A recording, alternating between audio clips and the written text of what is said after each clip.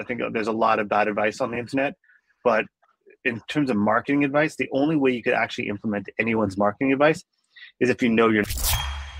We are live. Welcome everyone to the Ask Jason show. I am Jason. That is Megan. Megan is my lovely co-host on this, and she'll field all the questions. She'll make sure all your questions get answered. We're answering any questions around business, life. I don't know, whatever you want to throw at me. Uh, let's let's let's get into it. Let's get into it. Let's get into the show. Um, right. If you have questions, just put them in the comments. Um, and if uh, yeah, or just if you're watching the replay, let us know you're watching on the replay. Uh, write replay, and then just put your questions in there, and we'll tackle it on next week's show. We are live every week. We've been off for a couple of weeks because of the holidays, but we are back, ready to rock and roll. Let's go. Okay. Okay. The first question is from James. We're seeing a lag in sales for our online sporting goods store. What's your advice in order for us to boost sales? Such a vague question here. Uh, very open. Uh, I don't know. Are you running ads? Is your is your product seasonal? Um, what are you doing in terms of promotions? I mean, it's it's almost impossible for me to sit there and say this is what you're going to do to increase sales. There are so so so many different ways you can increase sales. If you're experiencing like a downturn just ask yourself is it seasonal? If it's seasonal then you could prepare for that and you could use that time to build up your list. You could run contests. You could do all that so you could build up your list so that when you're in season you don't have to run a ton of ads or spend a ton of money because you already built up that list of people who are interested in your product if you're full season which means you could sell year round and sales have dipped what happened what's going on. Um, when did this start? Uh, do you experience the same dip uh, every single year? Is this your first time experiencing the dip? We kind of have to reverse engineer from there, but it's almost impossible to give blanket advice. I mean, run more ads, have more sales, uh, run some contests, email your list about the way to get sales. But the deeper issue is we have to die. We have to diagnose why why it's happening. So for me to give a prescription without diagnosis, like if a doctor did that, it'll be malpractice. And hmm. 2024, we're going to watch ourselves. We're not going to get sued. Perfect. Okay. Um, right. What is something everyone says I should be doing when it comes to running my ecom business, but you think is actually terrible advice? And this is from Robert. Uh, ooh, that's an interesting question. Uh, what is something that everyone is saying that is actually bad advice? I think you see a lot of people right now just saying, go across all channels, try all channels, spend a lot. Uh, I mean, if you're just in the in the question, they say if he was just starting off. Um, no, it doesn't say. Okay, I mean, you got to know your numbers. I think I think a lot of the advice that we're seeing online about how to grow, whether it's an e-com business or any business, just lacks a ton of context lacks a ton of of just important questions that need to be answered and they're just given as blanketed general advice so know your numbers uh, i think i think there's a lot of bad advice on the internet but in terms of marketing advice the only way you could actually implement anyone's marketing advice is if you know your numbers is if you know mm-hmm. this is how much i can afford to spend this is how much a customer is worth to me and this is what my goals and metrics are I think we're seeing a lot of bad advice for people telling you what your goals and what your KPI should be. Yeah. It's actually terrible advice. Or what your number one metric should be. Makes no sense. I'm not your business. I can't tell you what your number one metric should be. What is your goal? What is your end result? I think it always starts with what do you want? What is the goal? And we reverse engineer from there and we build the metrics out. That's why I think our agencies, you know, and, and even with why we're so different than everyone else on the market is because we're not just coming in sitting there listening to our, the prospect and saying, "Yes, sir, you want to increase sales. We're going to increase your sales. We're going to we're going to do all that."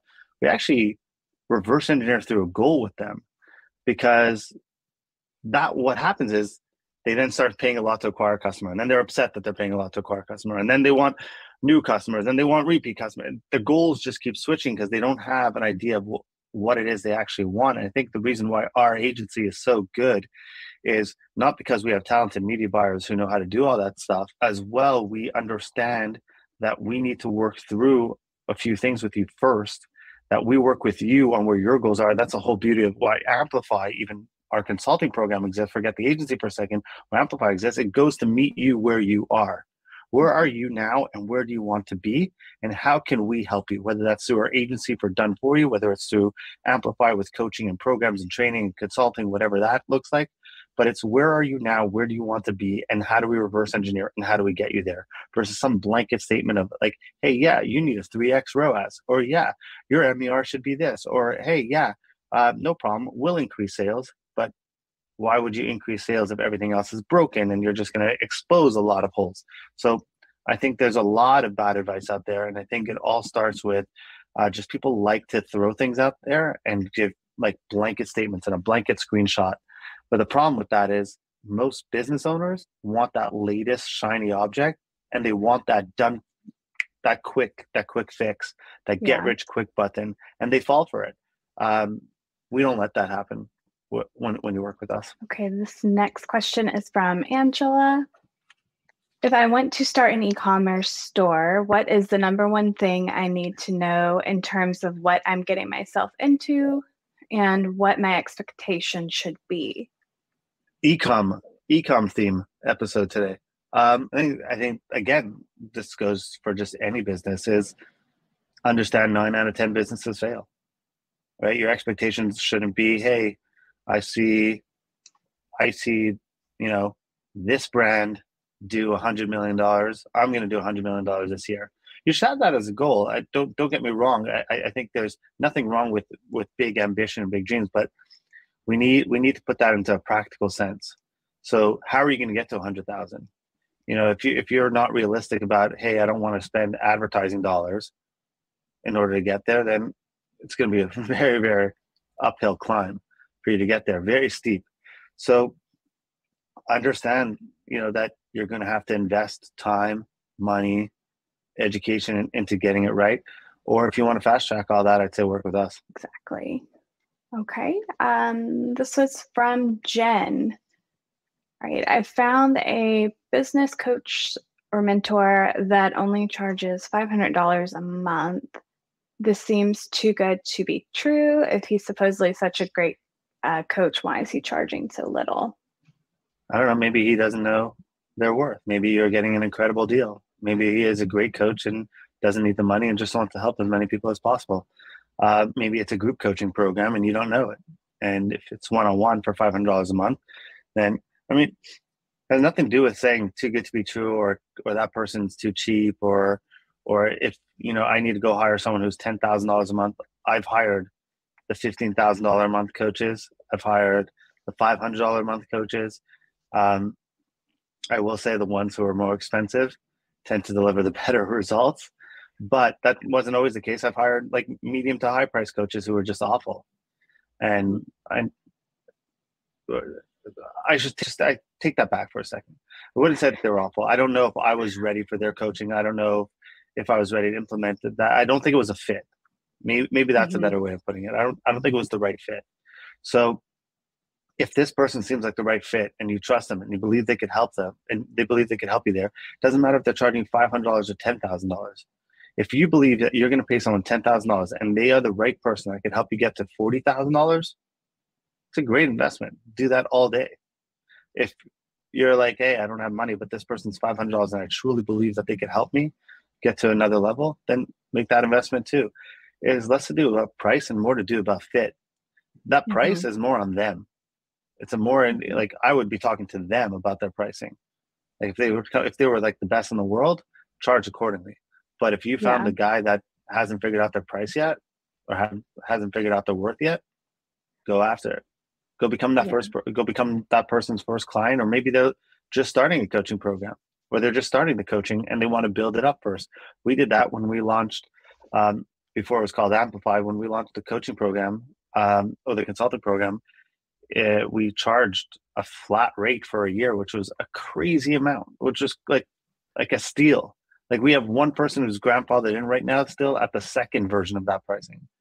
Mm-hmm. Like I, I would probably redo the whole coaching program and get rid of everything if I had to still charge that first that first pricing. But I needed to build it up. I wanted to prove a concept. I wanted to build it out. So I offered a discounted rate. So I wouldn't worry too much about that. I just if they're good fit, go for them. Price doesn't really matter. Yeah. I guess you have to give it some time too to see if they're the right fit. You can't make I mean, that judgment. wouldn't- judgment. I wouldn't sit there and say like, "Hey, I hired a coach. He's one dollar a month. Yeah. He's one dollar a month. Uh, is it worth it? Yeah, it's worth it. It's a dollar. Go spend that dollar and see if that person can help you. If that person can help you, it's the best dollar you've ever spent. hmm So don't worry too much about the pricing. Worry more about whether it's a fit and, and there's that trust and that you believe that person can help take you to the next level. Okay. We charge more than five hundred dollars if you want to join our coaching program. Yes, we do. okay. Um, all right. Well, I guess it's time for my question of the week. Um, this has to do with coaching and mentorship. So You broke the whole theme of this show, Megan. I know.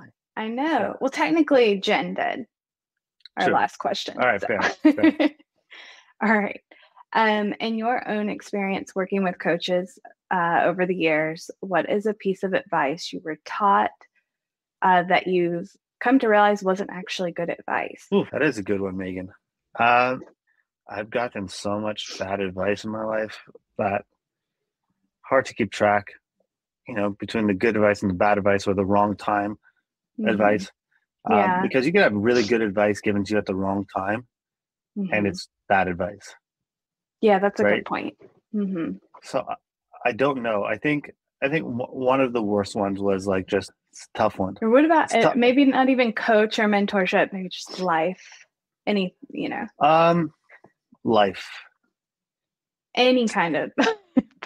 I mean, I'm telling you, I, I, I just see so much bad advice out there. It's hard to distill between like pick one. Yeah. yeah, and then just what the sums of of my experiences are from bad advice and bad and mistakes and experiences that that have led to that.